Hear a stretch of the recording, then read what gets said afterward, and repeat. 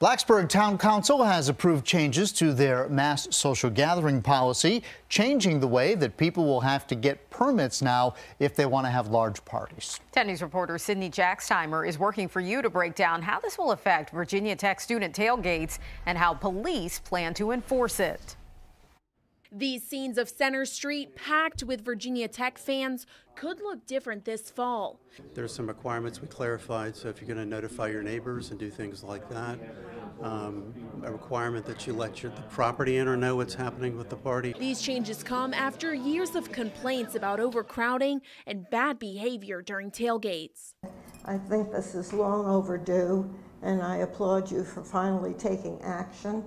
I have witnessed what goes on there over many years during most of the home games, and it was an absolute disgrace, a vulgar disgrace. There were no students at tonight's meeting as majority are away for summer break, but soon they'll be returning to campus with new laws in place. Blacksburg Police Chief Todd Brewster says his department plans to meet with student organizations to help them understand what info is needed to register a party. If we can get the students to understand what the laws are and the ordinances of the town, then it makes it easier for them to come to us for the parties. A mass gathering permit is required for events with more than 200 people.